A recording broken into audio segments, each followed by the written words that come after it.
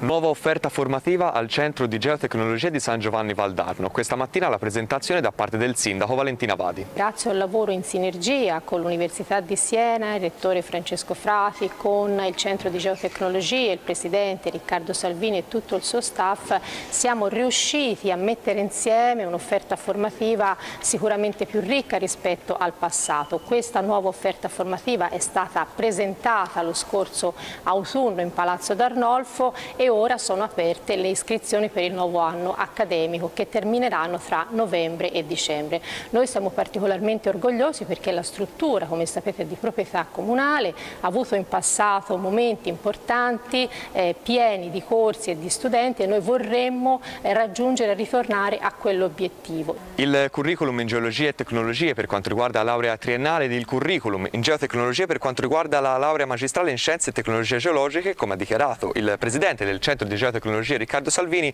offriranno agli studenti la possibilità di mettere in pratica aspetti teorici studiati attraverso l'utilizzo delle nuove tecnologie disponibili in questi laboratori. Sì, praticamente eh, si è cercato di dare la possibilità ai ragazzi del Valdarno direttamente uscendo dalla scuola superiore di poter seguire un corso di laurea per intero in scienze geologiche qua a San Giovanni. Quindi abbiamo affiancato alla laurea di Siena un indirizzo, si chiama Geologia e Tecnologie, parlo della laurea triennale,